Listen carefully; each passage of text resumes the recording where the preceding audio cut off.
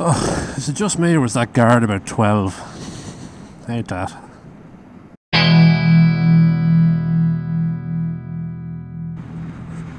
First of all, apologies for the scenery. Um, it's going to be fairly similar scenery until this five kilometre lockdown gets uh, gets uh, pulled out a bit. But uh, I'm out today having a look at the riding modes on the Zero SRS, which probably applies to the SRF, same bike, but whatever.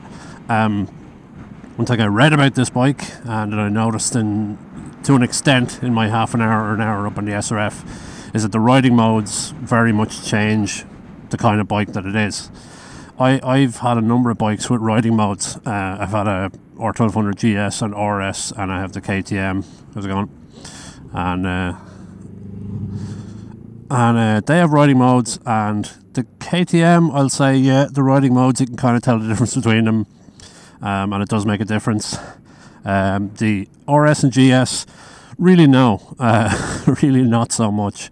The difference between um, street mode and sport mode on the RS is kind of negligible. You know, it's yeah. I mean, there's a difference if you're looking for it, but if you covered up the riding mode and asked me which it was, I'd be like, yeah, I, I wouldn't guess it most of the time. It seems like it's a sort of a thing that people just expect, and that um, applies especially to, and here's where I get to be snobby for a little bit, to, to rain mode, which is a mode that a lot of bikes have.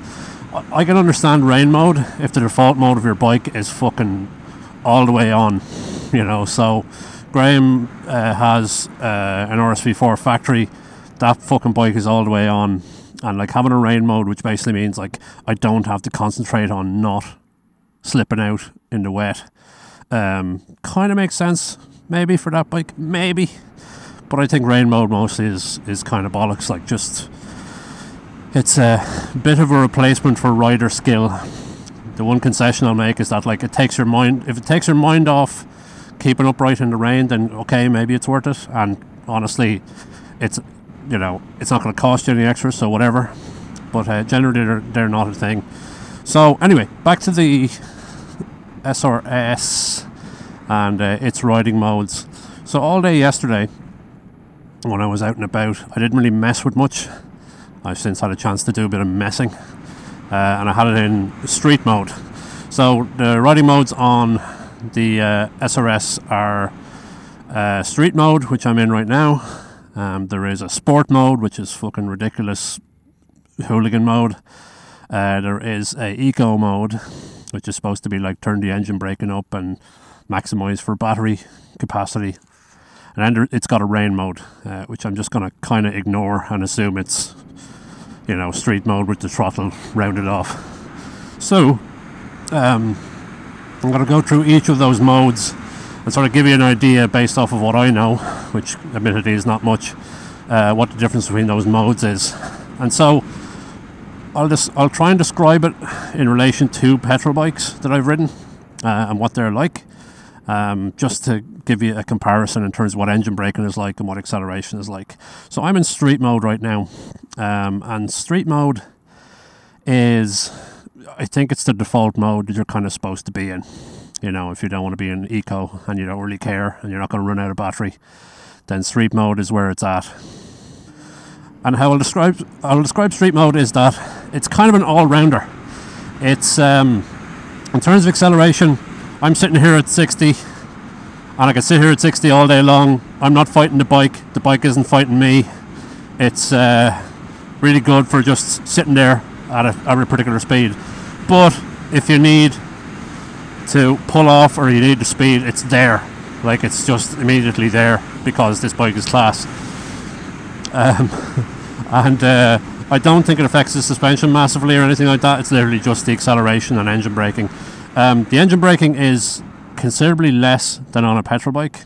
Um, it's not. It's not gone. It's de- it's definitely there. There's definitely a bit of engine braking, but it's very much not um, you know, gonna stop you on its own, if if you like. Um, so I think it's a decent amount of, of engine braking, considering that this doesn't like the the engine braking on this bike is artificial. It doesn't need to be there. Um, so. Uh, and the engine braking in this bike does uh, recharge the battery in the same way that like a hybrid car or, or an electric car will recharge the battery. So the welly is there. You know, you're not you're not missing out on much. Uh, let me stick it up into sports mode. It's not a very great road for sports mode, but there you go. Sport mode, and then you put it in sport mode, and then you close the throttle, and then it's in fucking sport mode. And sport mode is sport mode. It's fucking, it's fast. It's just ridiculously fast. And uh, engine braking, I think, is minimal. I can't detect any, uh, which means there mightn't be any. Um, but you know, it does what it says on the tin. Uh, let me try. Let me switch it again. Just press in the thing. Go over to back through street to eco eco mode. Ooh, and you immediately notice that somebody nearly goes up your hole because the engine braking just kicked in with a fucking vengeance. Um, the uh, the engine braking on eco mode is hard. Um, it's considerable. Uh, let me see. Oh, what's what are you doing? Yeah, get out of your lane. You took the uh, eco mode engine braking is harder than any petrol bike engine braking that I've had. You know, and by engine braking, uh, what I mean is if you're accelerating upwards and you just let go of the throttle, the bike dives forwards and uh, starts stopping on its own. And so, the normal clutch and transmission in a uh, in a petrol bike will just do that because of how it is. Uh, and so, in this bike, it's artificial. What it's doing is it's basically taking the energy back into the engine and um, conserving energy. I don't think it's recharging the battery. I think it's just conserving energy for reuse. Yeah, so eco mode. The eco mode on the DS, uh, you could sort of pull off from the lights while pinning the throttle, um, and you know it wouldn't run away with you. And uh, I tried that at the lights there a while ago, and it's the same in this bike actually. So eco mode is like it's not wimpy, uh, it's not. The power is still there. It's just applied more smoothly. It's just applied in a in a very controlled way, um, such that, as I said, if you're at if you're at a stop and you want to go, you can pin the throttle the whole way, and it's going to just pull off and you know accelerate smartly, but it's not going to fucking wheelie. It's not going to do anything like that. So, uh, and I, yeah, as I said, as for engine braking, engine braking very noticeable. Um, but again, you, you just put a bike into what's called eco mode. That's kind of what you signed up for. All right, we'll get around this thing and we will try rain mode, just just for shits and giggles. Uh, up and up. There we go rain, and it goes nice and blue for you. Oh, rain mode is very wimpy indeed. Oh wow. Okay, let me let me try this for a minute, and I'll get back to you.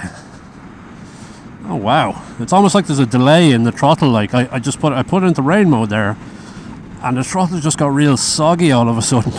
it's just, uh, come on, come on, bike, you can do it. Uh, I know you can. Um, that's mad. It's not like eh, like I've had two, three bikes with a sort of a rain mode on them now, and this is probably the closest to the rain mode, you know, as it should be designed. Let me try and overtake this truck and we'll see how we do. Oh come on, bike! You can do it, bike! Oh yeah! Um, this is mad. This is yeah. No, like I said, this is probably the closest thing to a rain mode. My imagination of what rain mode is supposed to be is that it softens off your throttle response such that you can't really skid the bike um, by you know going over a wet patch and accelerating too hard. So no hard changes in acceleration up or down. And uh, boy, that's what that's what certainly accelerating does. Let me see what the engine brake is like. Engine brake very light. Yeah, so this is this is actually um, it's actually the first rain mode that I've experienced that I think would actually help in the rain. you know, help your average bike in the rain. Because I'm fucking hanging out this thing and doing all sorts of mad feathers on it and stuff like that, and it's just not doing anything. It's just, it's almost like they put a delay on the response from the throttle and just turned the engine braking down to barely, barely there. Like I think the engine braking is probably less than in, in street mode um, where it's otherwise lightest. Um, so that's interesting because because um, I was kind of ready to give up on rain mode as a concept, but it turns out it really seems to work. I haven't really had it. Obviously, I haven't had this bike out in the rain yet, but uh, we'll see how it goes when that eventually happens. The police want to know where I am going on my vehicle. How's it? How's it going? Just home to. Cheers. I didn't tell you where I was. I was miles away, fucker. I really wasn't actually. I try not to get this bike taken off me for stupid reasons. I'm open to the fact that I could possibly have it taken off me for uh, for for legitimate reasons. Anyway, where were we? All right, back in street mode, um, and yeah, uh, certainly street mode. Like, I'll say one thing about riding modes that I think still applies to this bike is that you're generally not going to be fucking about with them. Like, if you if you think it's a good idea to sort of look out the window and say, I wonder what mode I'll put my bike into today, then you're probably doing riding modes wrong. Uh, how I can like how I've used um, riding modes in other bikes is basically if I'm commuting, I'll have it in normal mode, be it street or whatever it is, and if I'm acting a maggot, I'll put it in sports mode because I know on the BMWs and KTM's it actually tightens up the suspension as well. But uh, in this bike, I think I'll be leaving it in street. Like maybe I can see myself if I'm cutting it fine on range, sticking it into eco mode, but I don't think eco mode's going to save you range wise. So, do I think driving modes or riding modes are still kind of a gimmick? Uh, less so with this bike. You know, if you were asking me, are you going to pay thousands extra for riding modes on your average motorbike? I'd say, meh, maybe. You know, depends on how much, you know, what it gets you. Um, certainly from the point of view of uh, on, on modern BMWs and KTMs, what the riding mode does for you as well is it, it tightens up or loosens your suspension, which I think is the big killer um, feature there. So that's that's what I like about that. I don't think this bike does that, um, and so if it's just literally throttle response, I think that this bike makes up for it.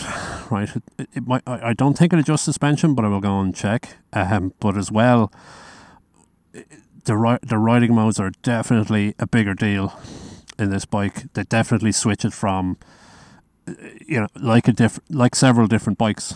It's almost like several different bikes in terms of the response.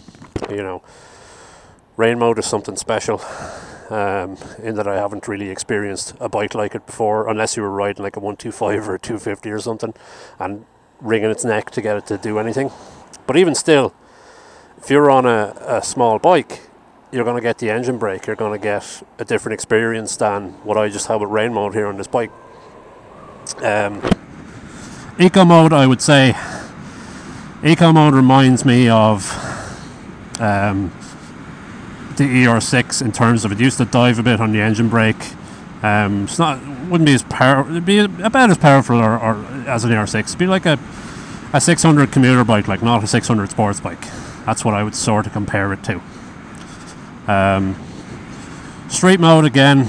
I don't have a bunch of comparison here, but um, closest I would have is is uh, the RS. It's kind of like the RS in that like it has that you can just flick the fucking um, you can just flick the flick the throttle and the power is there for you. I'd imagine it's quite like, um, although I haven't ridden them, a lot of the sort of um, mid to large side naked bikes like the MT09 uh, I'd imagine it's like that. Um, and again, sport mode is fucking thousand RR territory. It's fucking mad, mad noise. And so, in conclusion, I think uh, I think the riding modes on this bike actually really bring it out to shine. Like you can ride three or four different bikes. I know the frame and everything has a lot to do with it. But like engine characteristics and braking characteristics wise, you can ride three or four different kinds of bikes, and it's in one bike. It's pretty class. Uh, it's not a gimmick. All right.